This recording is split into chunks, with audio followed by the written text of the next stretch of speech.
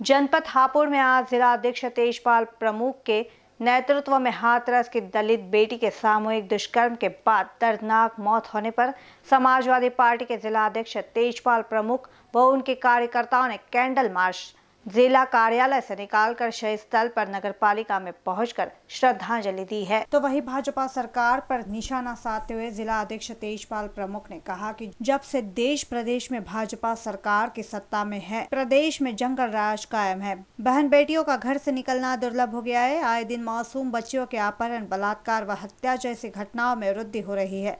जनता हाहाकार कर रही है। भाजपा की प्रदेश सरकार अपराध वृद्धि में लगाम लगाने में विफल हो गई, लेकिन सरकार अपनी तरफ़ से पुल बांधने में अभी भी व्यस्त है। प्रदेश में बढ़ते आपराधिक वृद्धि की घटनाओं को देखते हुए सरकार का नैतिकता के आधार पर त्याग पत्र देने की मांग की है, तथा दोषियों को फांसी देने की मांग करते हुए पीड़ित परिवार को आर्थिक सहायता के तौर पर 50 लाख रुपए की मांग की गई है।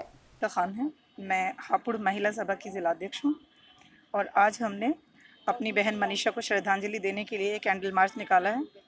और मैं इसके माध्यम से ये बताना चाहूँगी कि भाजपा का बेटी बचाओ नारा दरअसल वो नारा नहीं था, एक वार्निंग थी। वो बता रहे थे कि क्योंकि हम बलात्कारियों का, हत्यारों का समर्थन करते हैं, इसलिए हमसे बच लो। तो उनका ये नारा नारा नहीं था, वार्निंग थी, ये बात आज बिल्कुल सही साबित हो रही है। ये सरकार बलात्कारियों का, हत्यारों का समर्थन करती है, इसीलिए आज उनके इतने हौसले बुलंद हैं। कि कोई भी कानून का किसी को कोई डर नहीं है। हर तरह से महिलाओं के प्रति अपराध बढ़ रहे हैं। महिलाएँ बिल्कुल सेफ़ नहीं हैं। आज किस तरह महिलाएँ पढ़ने, नौकरी करने बाहर निकलेंगी, ये बिल्कुल नहीं कहा जा सकता। और जैसा कि अध्यक्ष जी ने कहा है, उनको मानवता के, नैतिकता के आधार पर इस्तीफा दे देना चाहिए, लेकिन इन लोगों में नैतिकता बची ही नहीं है।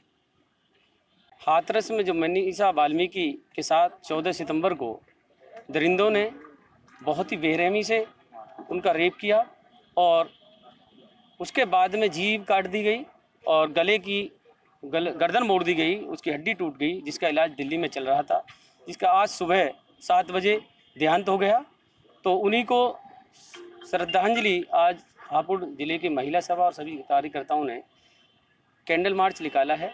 जो पार्टी ऑफ़िस से यहाँ शहीद स्तंभ तक निकाल कर उसको भावहीन श्रद्धांजलि आज हम दे रहे हैं। इन बी न्यूज़ के लिए हापुड़ से अनिल कश्यप की रिपोर्ट।